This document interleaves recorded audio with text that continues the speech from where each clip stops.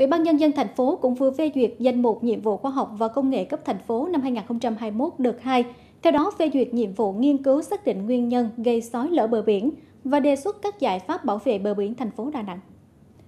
Các sản phẩm dự kiến bao gồm bộ cơ sở dữ liệu số hóa đầy đủ, trong đó các bản đồ được xây dựng trên nền tảng công nghệ IGIS, dữ liệu số hóa có khả năng tích hợp vào cơ sở dữ liệu dùng chung của thành phố, các báo cáo về nguyên nhân gây sói lở bồi tụ sạt lở bờ biển, các báo cáo về giải pháp tổng thể phòng chống xói lở bờ biển, bộ hồ sơ thiết kế mẫu điển hình áp dụng giải pháp cho khu vực ven biển trọng điểm của Đà Nẵng, mô hình mô phỏng diễn biến đường bờ biển, tối thiểu một bài báo khoa học đăng trên tạp chí khoa học hoặc báo cáo tại hội nghị, hội thảo khoa học trong nước. Sở Khoa học và Công nghệ